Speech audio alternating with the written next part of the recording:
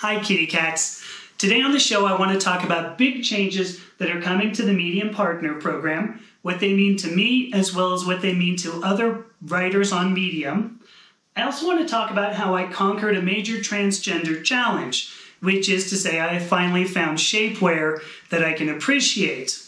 And then finally, I want to talk about an investigation into UFOs that are that's currently being conducted by a congressional committee and how that means that aliens are just like transgender people, at least to Christians. I am your hostess, Amethysta Herrick, and I want to welcome you to the program. Whether or not you know this, all of my work is supported by subscribers to my Substack publication. If you are already a subscriber, I want to say thank you so much. If you like this content, if you like this show, if you want to support me and all the other work that I do, including podcasts and writing, my Substack publication will be linked in the show notes.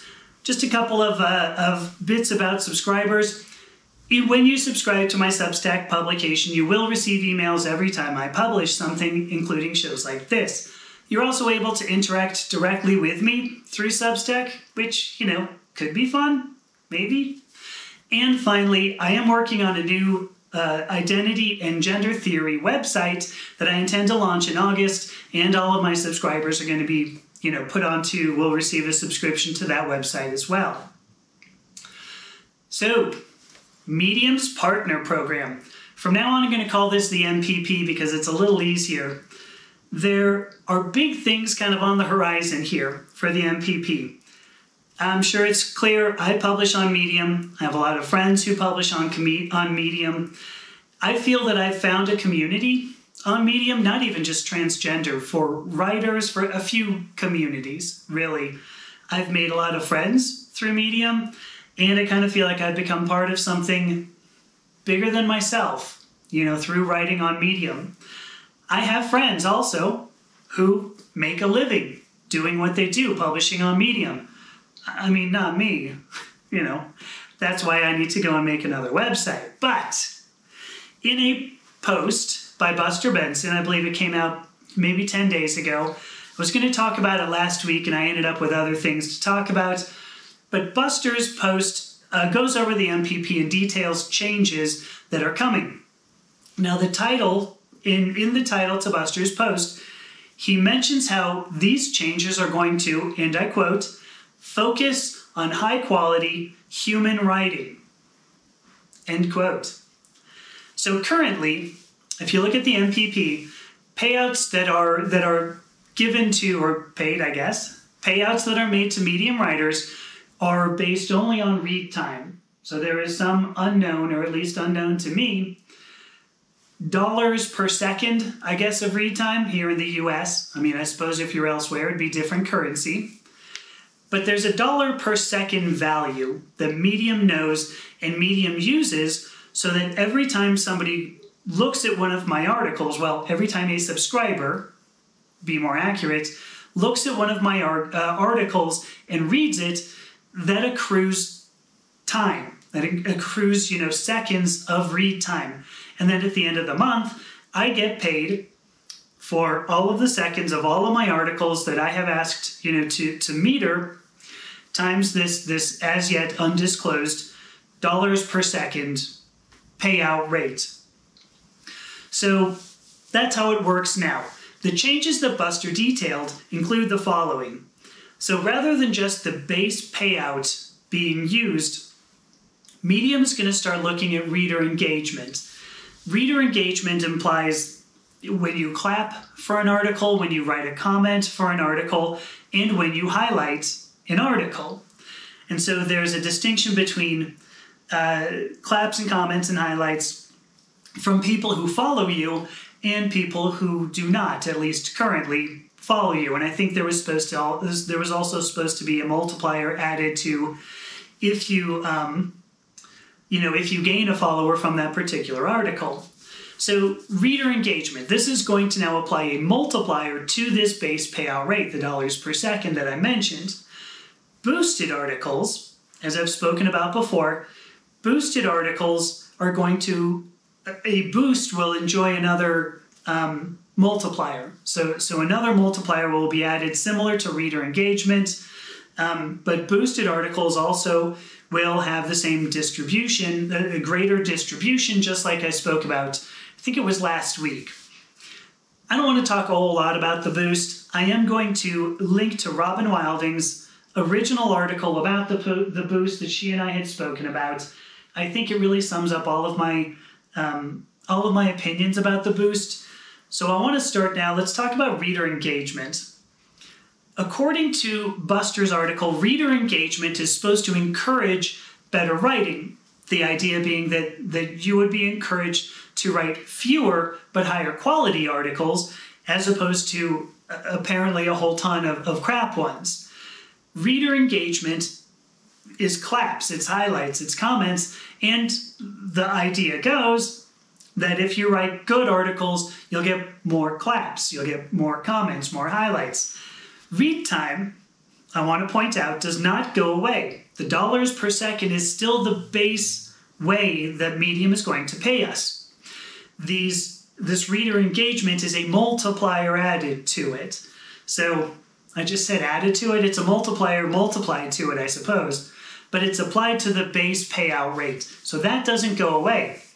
Now, I don't know honestly, if you're already getting good engagement, like I don't think that's likely to change. If you're already getting claps and comments and highlights, and I do, I don't think that writing better articles is necessarily going to help. I have more to talk about that below, but I do want to think about engagement from followers. Now, I think that could mean something. And I think it means something because, you know, like I don't have a huge following, some 800 followers. I don't really know exactly but I, I know that there are writers out there who have huge followings because people want to follow them in the hopes that those writers will follow back. And it's a way to grow your following, but it usually means that the people, and I've got plenty of these myself, I should mention, it does mean that these people are most likely not going to engage with what it is I write. So I think if you get a whole ton of followers but they don't engage with anything, I think that's interesting that, that you have basically repeat engagement. Somebody came to your article, said, wow, this person's great, good enough to follow, and then read more. And so I think that there's an aspect to that that, that kind of, you know, kind of grabs me. I sort of I sort of appreciate that. Again, I think if you're already getting good engagement, I don't see any reason why that would change. Um, does it encourage better writing? I'm hesitant to agree with that you know, if you just in general write engageable content, you get reader engagement. Now, when I say engageable content, gosh, is that a word? Engageable? Let's assume it is. When you write engageable content, that might be really good writing. It may be very emotional writing. It may just push the buttons of people who are reading your stuff. Now, I've written stuff that pushes buttons. I wrote something about the Bible. I've written about Christians, and Christians came and said, You're, a, you're an idiot. I'll buy that. Was that good writing? Maybe. Maybe not. They probably didn't follow me. Does it mean that I wrote something well, or does it mean that I pushed buttons? Because they're, the two would be very difficult to distinguish, I think. The other the other point is that I think this is supposed to to change whether or not people whether or not AI content ends up getting on Medium. But I will reiterate, even if AI content is getting reader engagement, or if AI content gets this reader engagement, what's the diff? I mean, I don't see how this actually guarantees high quality content other than, you know, now I got no other other than. Where was I going? Probably nowhere. I see no reason why reader engagement, that changing how we get paid as a base as a, based on reader engagement changes anything other than maybe getting me more money, and I'm not sure if that's going to be the case. So, the boost.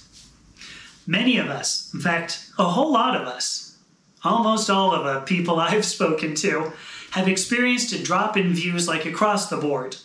Um, I'm going to take the guess. that not all of us suddenly suffered a drop in quality since the Boost program went live in February. Just a guess. Now, it could well be none of us wrote quality content to begin with, but I guess that you have to be the judge of that. Now, as I said, go and read Robin's uh, article that I have linked below. But our guess is that what the boost does is decrease the probability of any one article, unboosted that is, being seen because Medium is promoting now these articles that have been boosted. And it doesn't make a difference whether you have an article that's great quality, that, that has phenomenal writing. It makes a difference. The difference there is whether or not you got boosted, which means somebody had to see your article, somebody had to nominate your article, and you only get a certain number of nominations per month. And then somebody uh, on the team that actually uh, like approves the nominations has to boost it as the actual boost. So I don't believe necessarily that the boost brings out high quality writing.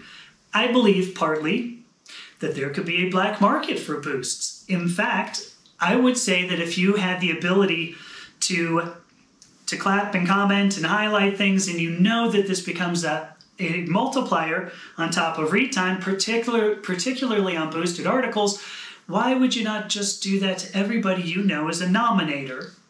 Because then you can curry favor with them by indirectly paying them for your claps and your highlights and your comments and following them. So I don't believe that this is going to change too much with the way the boost operates as it is. Now, one of the points that Buster made was that the proportions of people in earning categories doesn't change. And earning categories, I believe he broke them down to like less than 10 bucks a month, uh, 10 bucks to 100 bucks a month, I think, and then 100 bucks to 1,000 bucks a month. And, and then, you know, the sky's the limit. The proportions of people in those categories doesn't change. But what that says to me, and maybe I'm wrong, but what it says to me is that the people in those categories do change. And if the those people in those categories, if those people change, is it necessarily because of good writing or better writing? Because why were they in these categories to begin with? If they were in those categories to begin with, presumably they were writing well, presumably they had reader engagement. So, if the people change, my guess is that they change because Medium wants to promote them, which is what the boost does. And as a result, I still intend to hedge my bets by diversifying the channels through which I publish. And I guess more on that later. But now, let me talk about a very common transgender challenge. If you are not transgender, this may or may not apply to you, but I kind of guess it may anyway.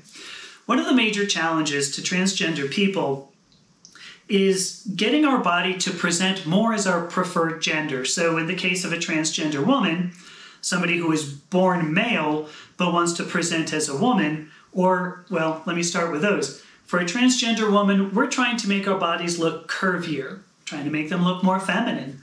Transgender men, who are assigned female at birth but want to present as men, they're trying to reduce the curviness of their bodies. And, and in so doing, you know, it helps with um, the perception that we are, you know, our preferred gender, that maybe I would have been assigned female at birth and a transgender man would have been assigned male at birth.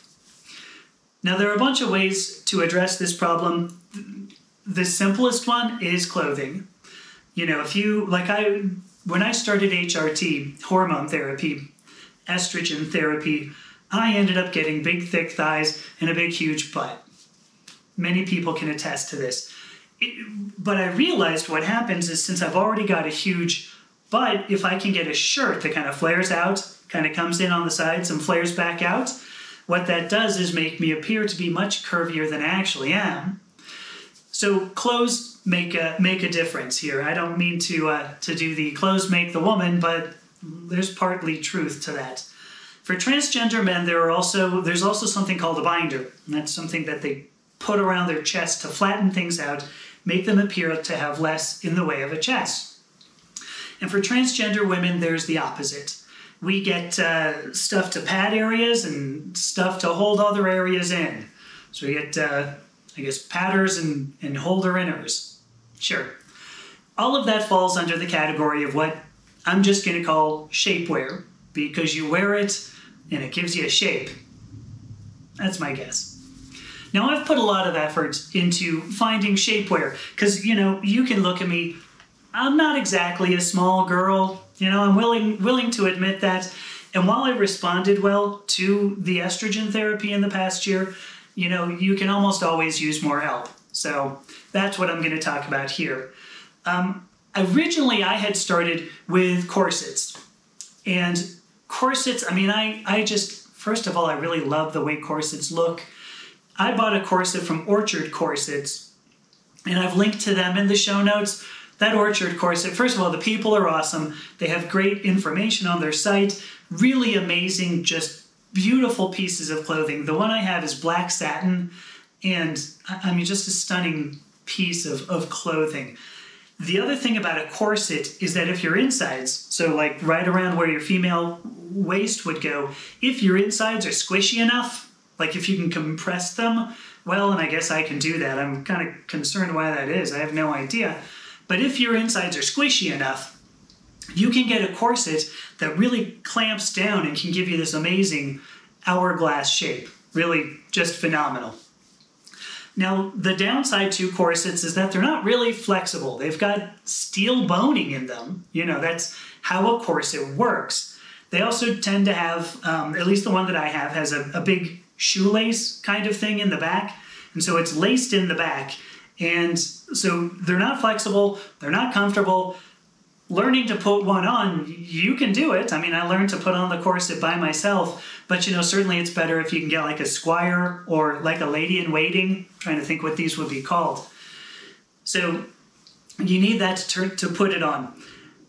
Corsets work okay under clothing the ties in the back will show. You know, if you have something like a tight top on, the ties in the back will show, and you know that kind of ruins the point of shapewear because you're just trying to show, hey, look, I got this shape.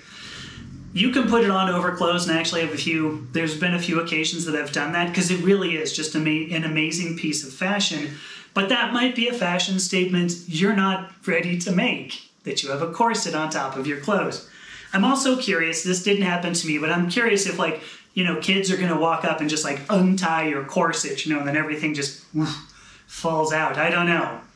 I mean, it, like I said, it didn't happen to me, and I don't know if there's exactly like this rash of corset untying going on across the nation, but you never know, right? Actually, I kind of wonder, like Victorian England, I wonder if that's what, you know, there's every day there was somebody walking down the street and a little child runs out, you know, please, ma'am, can I have some more? And she goes, no, get away. Was, okay, untie your corset, ha ha. Getting back at the rich. I, will I'll keep going. So the other, so those that's corsets.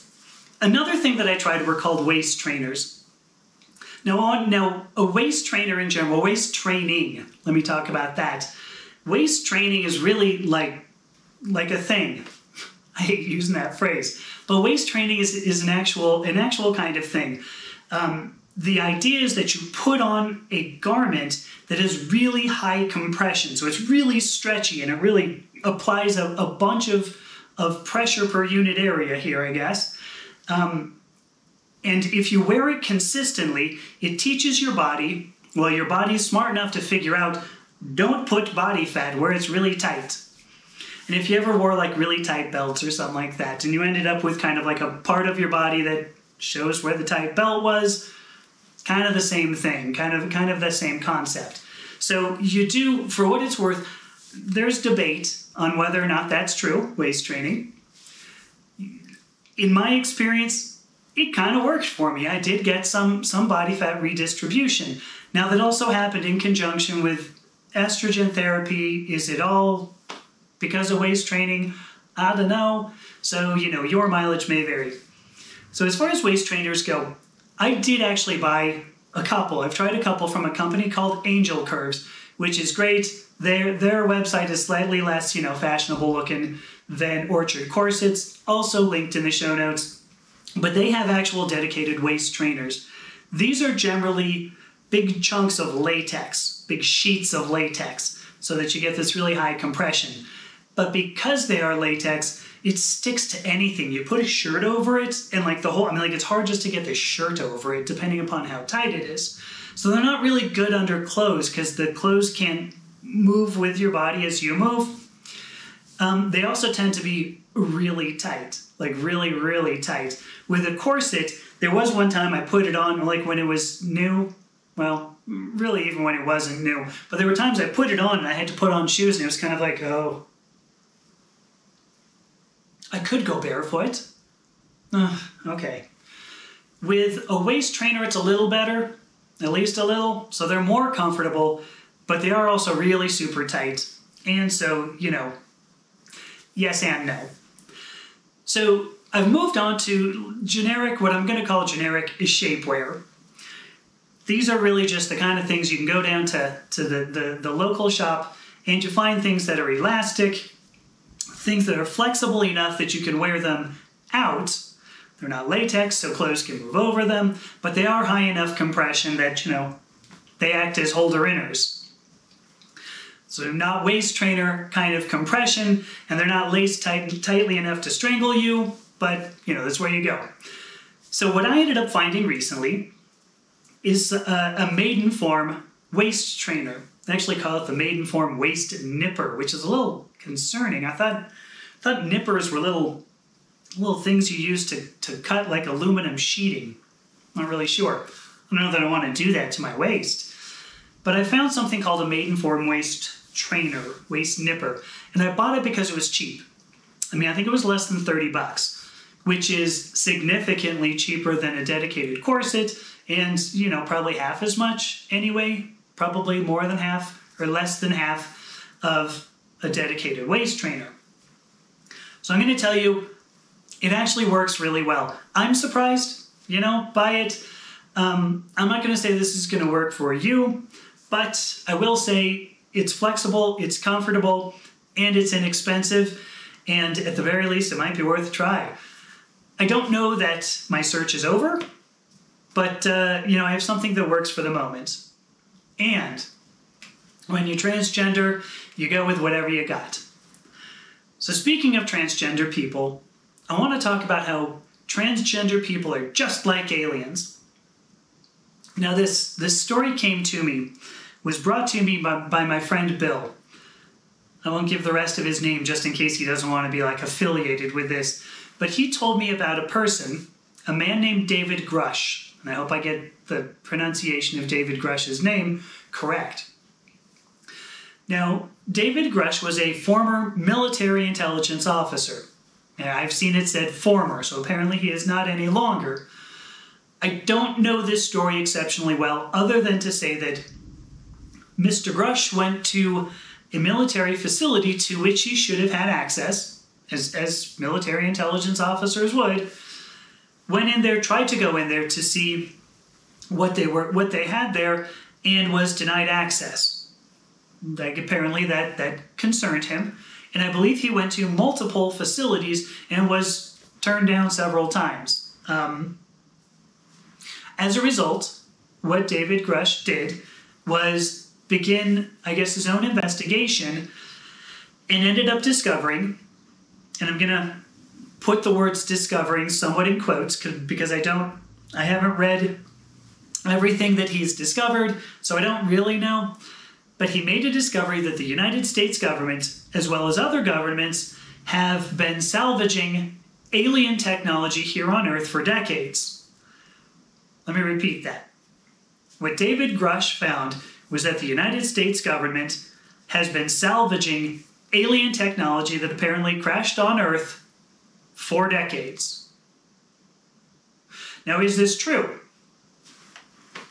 I have no idea. There is a congressional committee currently investigating David Grusch's claims. In fact, it started yesterday, Wednesday, the 26th of July. To me, a congressional investigation seems pretty formal. I mean, I've never been in Congress and I've never appeared before Congress, but usually that's pretty big stuff. So uh, I don't know. That sounds pretty pretty formal to me. There's also the possibility, and I'm throwing this out here just sort of spitballing, there's also the possibility that the United States government may be lying to some of its citizens or may not tell the whole truth to its citizens. Just throwing that out there. There are certain security aspects, you know, that I understand having to do with war, having to do with various things that I would get the US government won't tell us about. I mean, and I'm okay with that, like more or less, you know. Are they hiding alien technology? Who knows? I have no idea whether this is true or whether this is false. What interests me, however, is the response. Because David Grusch is just being destroyed in the media. A week ago, I discussed, because um, I, I put out my Gender as Mediator article, also linked in the show notes. And a week ago, on the, on the Dingbat Diaries Weekly, I discussed how I figured Christians might rebel against one of the, you know, about the, some of the science claims that I made. Because I talked about fish and I talked about hyenas, and I use those to demonstrate a distinction between sex and gender in pretty much every other species in nature. I, I recognize very well fish and hyena are not the only species in nature, but for the most part, most species will demonstrate a, a decent um, distinction between sex and gender. And the response that I expected, and believe it or not, I actually got one in uh, to my article. I was actually pretty happy to see that. The response was, and I quote, humans aren't fish. Well, you know, it's accurate, right? The point being made here is that humans are God's creation. Humans were made in God's crea- in God's image. And presumably God's not a fish. Although I do kind of wonder, there's that whole, you know, using the fish as a symbol. I don't know, maybe that bears further investigation. But humans were given dominion over the earth, right? Dominion over all that swims on the in the sea, all that walks on the land. And so Christians rebel against the idea of comparing humans to other animals because humans are supposed to be in some way above animals. Well, if I'm human and I'm doing above, yes, humans are supposed to be above animals. I don't know, folks. I'm trying to do gestures. I mean, do they work? Not always. But a comparison, this comparison challenges the idea of a God. Does God even exist? Or has biology in characterizing and in classifying all of these species, has biology moved on and obviated, you know, the idea of religion? Now, to return to David Grusch, there was an article, and I'm linking to it. It's from the San Francisco Gate. The, the article takes a very derogatory tone, ridicules the idea that Congress would, would entertain the idea of talking about UFOs.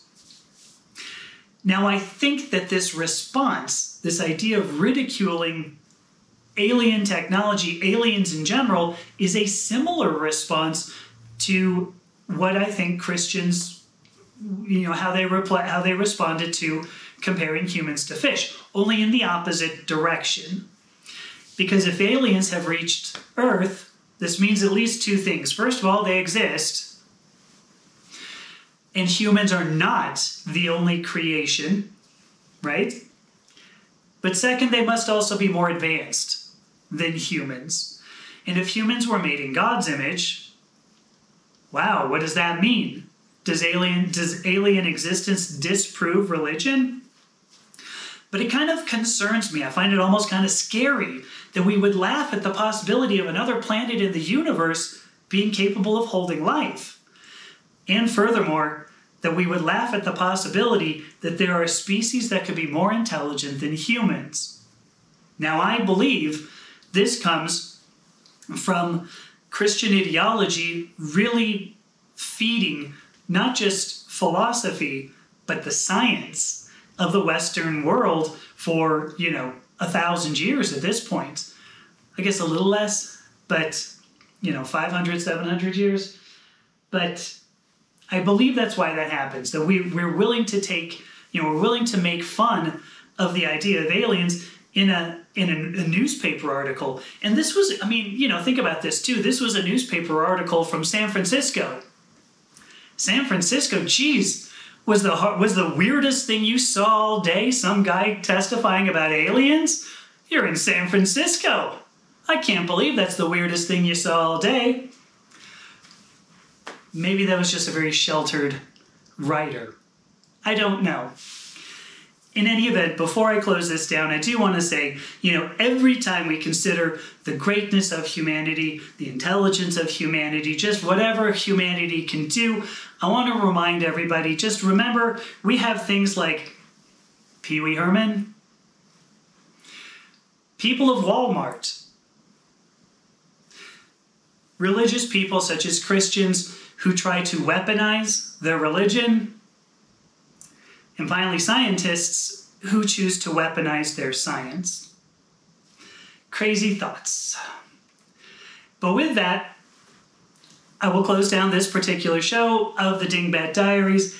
Thank you for watching the Dingbat Diaries Weekly for the week of July 27th, 2023. I remind you, if you enjoyed this content, please feel free to hit like, please feel free to subscribe, and if you really, really love it, please go find my Substack publication in the show notes and subscribe there. So until next week, I guess keep your bat stinging, whatever that means. See you next week. Bye.